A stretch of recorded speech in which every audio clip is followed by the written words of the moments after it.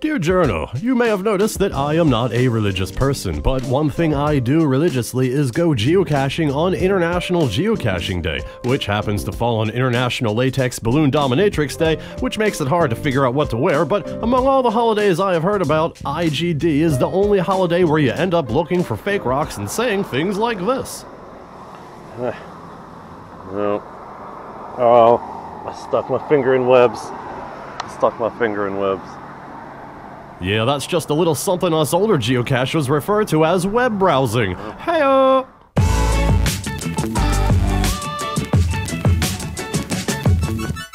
Hilarious jokes aside, one thing I did learn on IGD 23 is that even after hundreds of finds over years of caching, including what probably amounts collectively to dozens of hours spent under bridges, I am frankly still a novice. In here, feeling that up left and right. Same thing with the other side. There's some clear hiding spots, and I'm going nuts. I cannot for the life of me find it. This is right there. well placed. So, no matter how many you find, I'm sure you're still going to be doing little things like that. Happy International Geocaching Day. And now, a simple announcement regarding social media. I have created a Discord server because it's a format that reminds me of IRCs or Diversidial servers from the 80s and 90s. Keep in mind that it is not a geocaching only place, it's a skimbosh place. It's probably going to be geocaching heavier, eh, but I don't have any big plans for it. I just feel like I have these fragments of conversations going on across various sites, and perhaps I can condense some of them. And I'm not going to lie, I always wanted to run a BBS when I was younger, but by the time I was old enough to do it, the WWW started happening.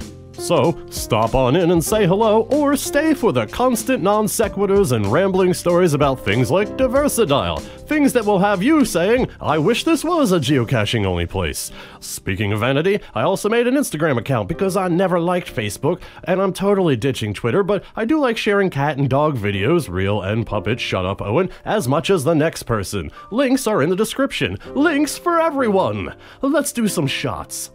After a hard day of geocaching, I sat down at the Home Fire Pit Mark IV and offered up cheer to these geocaching people in particular. Yes, I bought this whiskey because it said knob.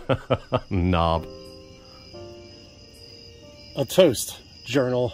A toast to the GIFF 2023 finalists, uh, particularly the ones that I know about, or know of, or talk to. I guess I'm friends with, in the lightest of terms.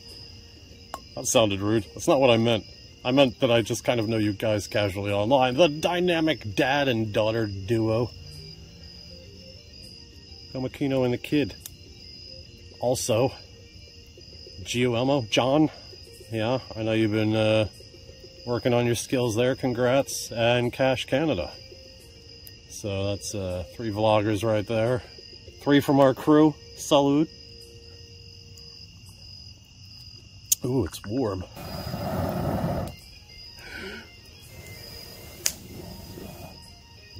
Yeah.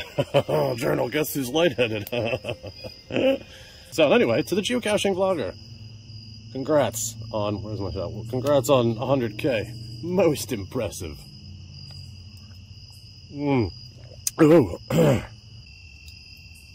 Journal, when TweetDeck was still a thing, I was watching the geocaching tag and I stumbled across Nudist Matt, who posted a picture of himself somewhere in Wisconsin, I believe. Uh, he was naked holding a cache and I took the picture and instead of putting a censored bar on his wang, I cropped out the uh, geocache size chart that's on every cache page and I did it for a micro so it said micro and I covered his cockles with that and then I posted it on Reddit and I I laugh now but I, I feel kind of guilty about that because in other communities it was it was talked about in the nudist community uh, you know how it says that on Reddit also being disgusted and um, wasn't body shaming making a dick joke.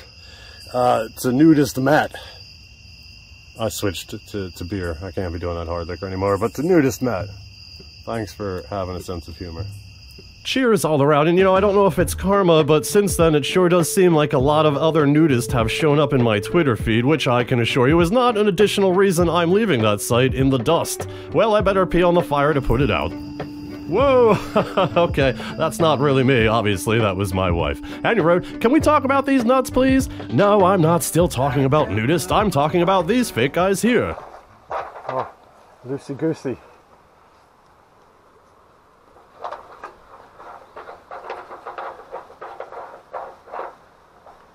Oh no. Oh, that's not a cache. Oh.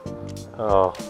Whoops, that's a real one. Hands up if you've ever accidentally partially disassembled a guardrail while searching for a cache. Yeah, here we go. Fake nuts, baby. Another geocacher's paradox. If there is a high difficulty cache that is indicated by satellite view to most likely be on a guardrail and it has a bunch of favorite points, then it is most likely a fake nut slash screw slash bolt cache. You just can't make one that's good without people wanting to favorite, which will eventually give it away. And that got me thinking, what other paradoxes are there in the geocaching world? So I sat down to give it some thought and came up with nothing. Sorry, Maybe later. It's time for me to leave in the S5000 geocaching mobile. Be safe out there. Uh, minor problem here. But it's not the wrong key. Please start. Okay. Well, that should be fun later on.